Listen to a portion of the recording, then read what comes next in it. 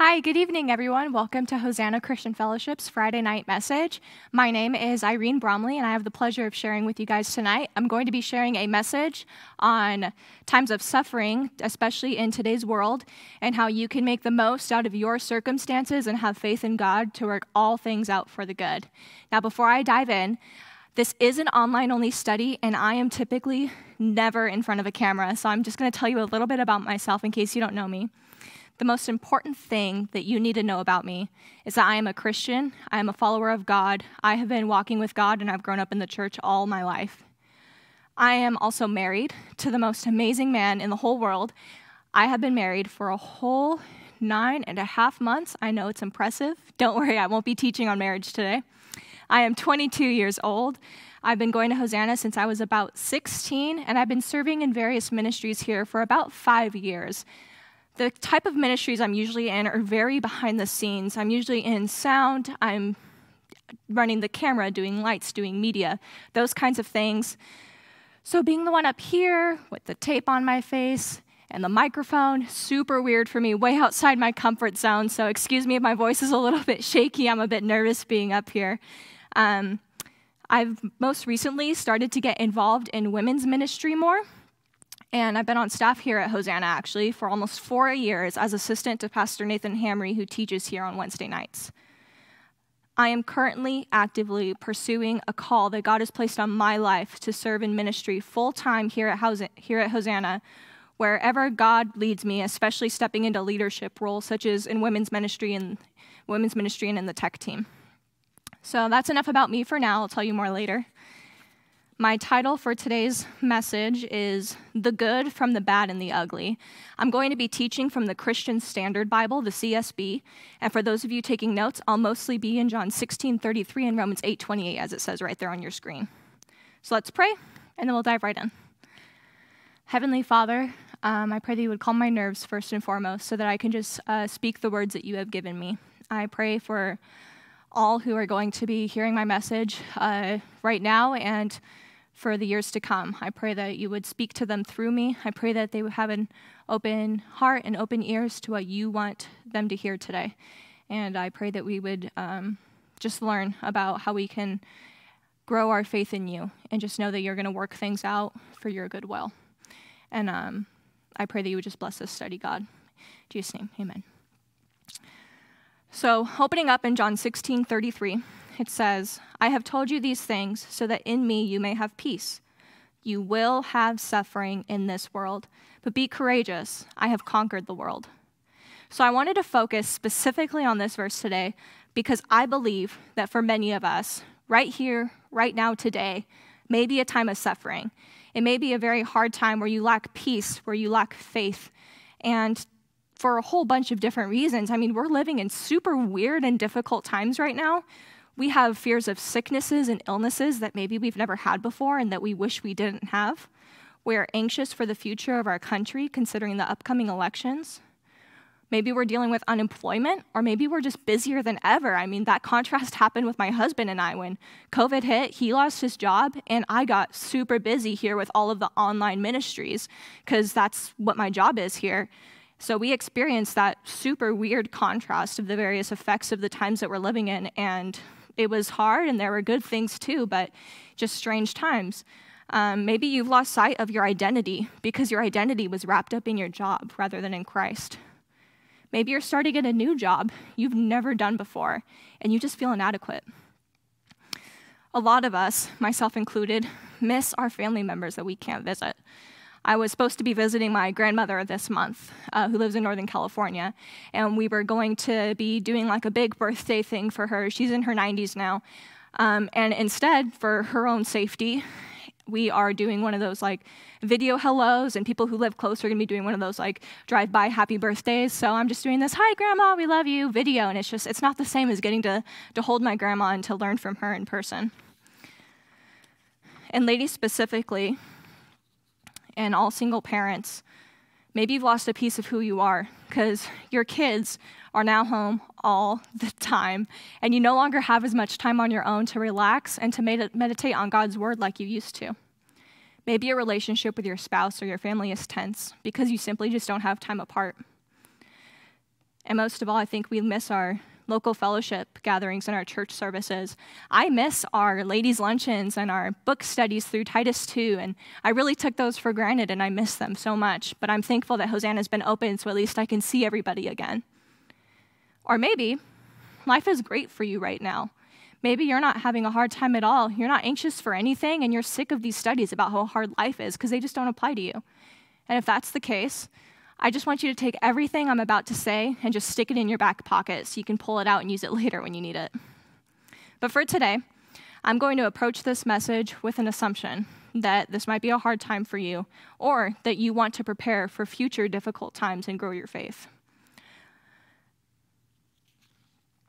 So, today you might feel confused about why God is allowing the current circumstances, but in spite of these current circumstances, the Bible does speak that we will endure times of suffering, as I just read, but we are also told that God will work all things together for the good of those who love him and who are called according to his purpose in Romans 8:28. Now, I am a firm believer that the past faithfulness of God demands our present trust in him. I'm going to say that one more time. The past faithfulness of God how he's already worked in our lives and proven himself and in the lives of those who came before us. That past faithfulness of God demands that we trust him now with our current circumstances and with everything that's in the future for us. So, before I dig into all the good things that can happen from these current times and how you ought to approach your future, I would like to refer to the past faithfulness of God that we see both inside and outside of Scripture. So, just to name a few within Scripture, because there's thousands of them, and we simply don't have time for that. Right off the bat, Genesis chapter 1, God takes an empty and a formless world, and from that, he creates ordered life. He breathes his very existence into us. From the loneliness of incompatibility that Adam experienced, you know, he was surrounded by all of these different animals, and it says that he just he didn't match with any of them. He he was alone. So from that, God took Adam and he created his wife Eve. So, from this state of loneliness, God created this system of support and an image of Christ's love for the church and how we ought to honor God. He created marriage from that. And what a beautiful thing that is.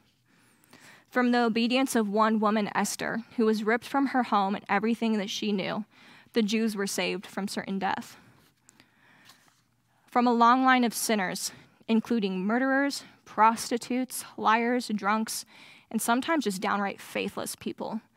God was able to deliver Jesus Christ into our world. And from the heart, most heartbreaking death in all of history, the death of our Lord and Savior Jesus Christ, we are given a new covenant of eternal salvation. From the time Apostle Paul spent in prison, we're able to learn about worshiping God in the midst of some of the greatest sufferings, even suffering because of our faith, which is a specific type of suffering we are definitely promised. And also from that, we receive a large portion of our New Testament that encourages us now and in, in the years to come. And lastly, in the future, we will see the destruction of the world and of a population in Revelation. But from that, God brings forth a new earth that is free from suffering and free from sin.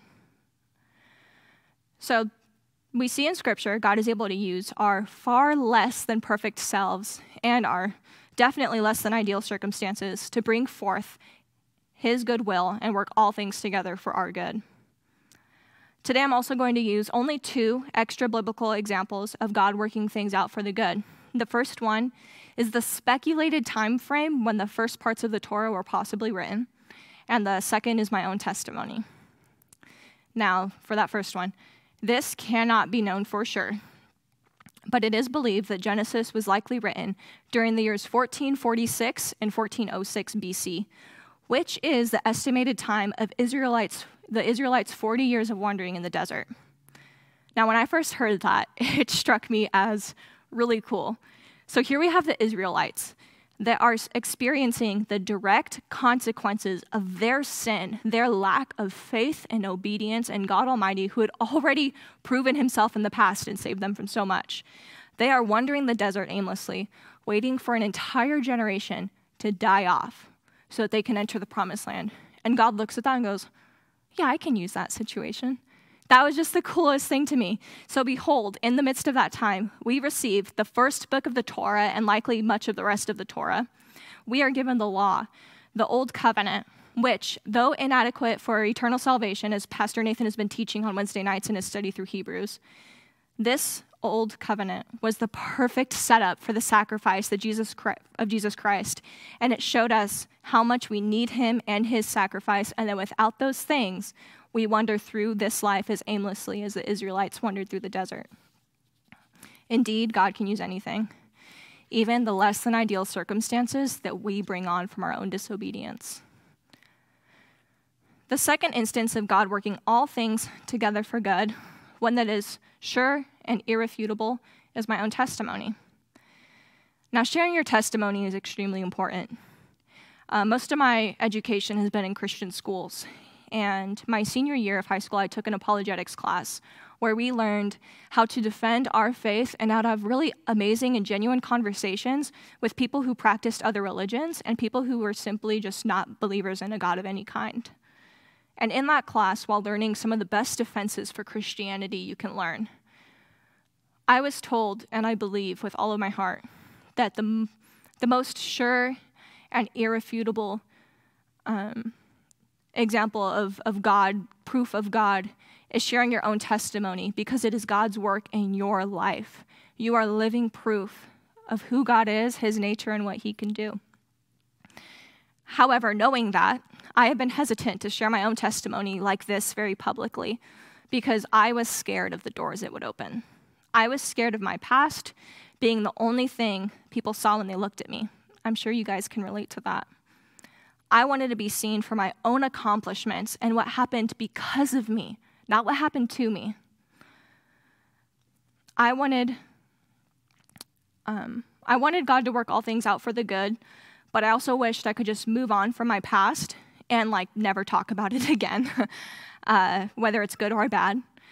But how silly of me and how selfish of me, really. That I would want people to look at me and see anything less than an amazing and miraculous work of God.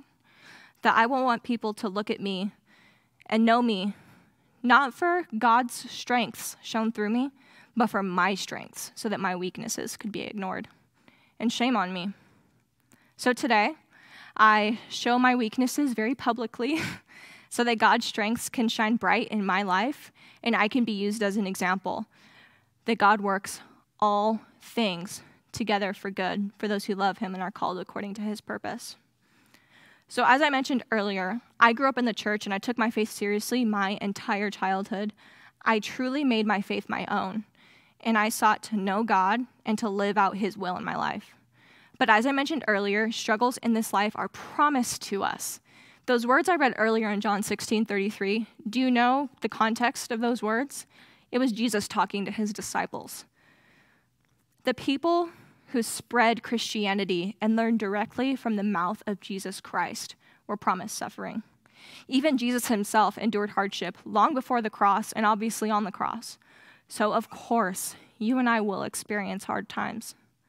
One of my personal, most difficult trials was experiencing abuse as a little girl. I was molested by a family member for nearly three years from ages seven to nine. Part of that time being while I actually lived with the family member, and the abuse was quite regular.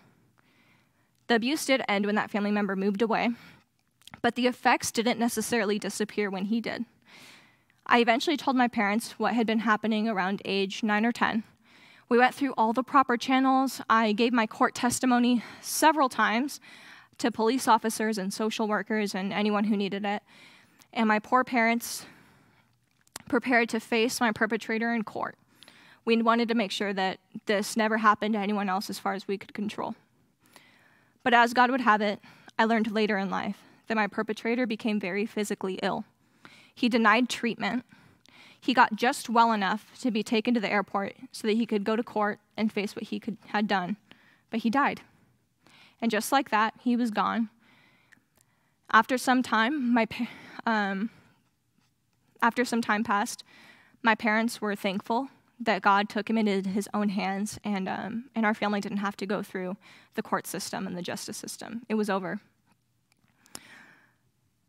I know my parents and older brother struggled for a long time with this. They struggled with guilt and anger. Everyone, including myself, felt responsible even though we weren't. And I, was, I wasn't the only one who later had to seek counseling. But boy, was a weight lifted off my shoulders. I was going to be able to move through life and act like it had never happened. I mean, that's how we wish it worked sometimes, right? But we have to allow God to work in and through our sufferings and give Him a chance to work everything out for the good. Except I never really worked through what happened to me and I put walls around my heart. I struggled with bitterness, I had anger problems. I felt I had every right to be bitter and to harbor a grudge, but that was hurting me, not the dead men who abused me.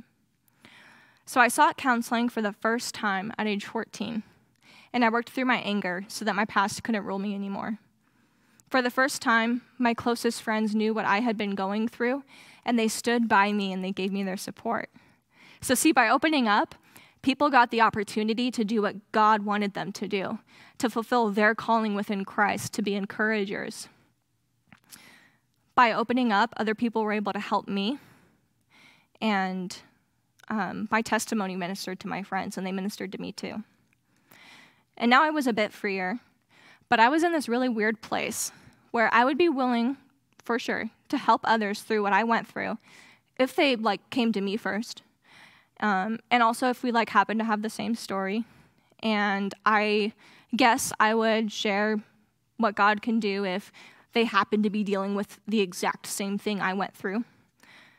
But saying my testimony into the air and letting people decide to just throw it away if they want to, that was never going to happen. That is until my junior year of high school. I went to a Christian school, like I mentioned earlier. I had an assignment in my uh, Bible class my senior year that, frankly, I despised. that required me to share my testimony um, up in front of the class. Um, every single person had to, a different person was picked every class period. Uh, so naturally, um, my name wasn't called till like the end of the semester. So I waited for it all year long and dreaded it the entire time. And every time he'd reach into the jar to pull out someone's name, I was like, oh, like I just wanted to get it over with, but also I didn't want to do it. And then eventually my name was picked toward the end of the year. And I wasn't going to lie, so I got up there and I opened up about abuse to more people I had ever opened up to before. Um, and people were simply shocked. That's the normal reaction I get when I usually share this. People who knew me as a child and who know me now just never really see it coming. Um, a lot of people, especially people who aren't walking with God, uh, have a hard time wrapping their head around the fact that I've been through something like that and that I'm like, okay. um, they don't understand why I would still love God and want to walk according to His purpose. And that always just strikes me as odd. People see my suffering or they see suffering in others, and they see it as a reason to not believe in God, or at least certainly not a loving one, like the one seen in the Bible. I see this a lot with women in particular. We have this empathy for others where we see others hurting and suffering and injustices, and it almost feels like it's happening to us. Um, we cry with others and we feel it with them. But what does Scripture say? Scripture says that God is the creator of Genesis who made man and knows his struggles intimately and even struggled himself when he came down to earth as the incarnate Son of God. Um, but for some reason, people think so highly of themselves that their own personal experiences or even the experiences of others that they could not possibly fully understand dictate whether God is good or not. They see me, a God follower, suffering, and assume that my God is fake but they ignore that what I experienced was a direct result of sin's mark on the world and the sin of a man who had free will. Suffering was not in the blueprints for creation. Man created that by straying from God's will. Eve took a bite of something she was not supposed to, and now we feel the effects. And I too would have suffered much more from my experiences if I had not chosen to press into what God had for me and to open up about my experiences to other people. I needed to open up to God using me for his goodwill. Now, I don't fit into the usual statistics that my I later learned in uh, school psychology. Um, I just I don't fit the statistics of a typical abused child. And that's because God is in control and He has worked all things out for the good. I'm able to stand here today and speak openly about difficult experiences because God is a God of healing and a God of restoration and a God of transformation. Philippians 4 6 through 7 says, Don't worry about anything, but in everything, through prayer and petition, with thanksgiving, present your requests to God. And the peace of God, which surpasses all understanding, will guard your hearts and minds in Christ Jesus. In all times, especially times of suffering, cling to God. Worry about nothing and press into your relationship with God through prayer. By clinging to my faith as a child and now, He has given me a peace that is beyond understanding, that has guarded my heart and mind despite the circumstances that life brought me. And that peace has allowed me to open up to others about my suffering, and my experiences have continually allowed me to relate to others in ways I just simply wouldn't have been able to if I didn't just allow God to work through me and use my past. It surprises me every day how God places specific people in my life that have been through what I've been through. I've been able to see walking miracles of God where He has worked things out for good in ways that I can't even understand. Because of my past and the miracle I have seen God perform in my own life, I have an unshakable faith, and I can help others and minister that to them in ways that I otherwise just simply couldn't and I get to be a part of their faith in God growing even stronger. What a blessing. My life is proof of what God has done and what He can do, not just in my life, but in yours too.